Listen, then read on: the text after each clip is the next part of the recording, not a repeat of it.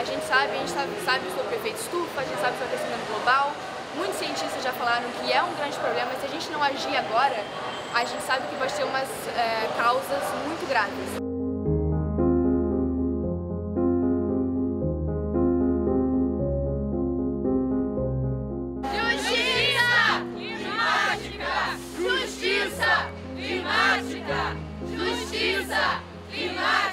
A gente quer fazer um trabalho de educação ambiental de ouvir a população, quais são as demandas deles, o que eles acham que está sendo feito certo, errado, e vir aqui pressionar os parlamentares de um modo estadual inicialmente, o que, que eles vão fazer pela gente, o que, que eles estão fazendo também, fiscalizar o que é o certo, né?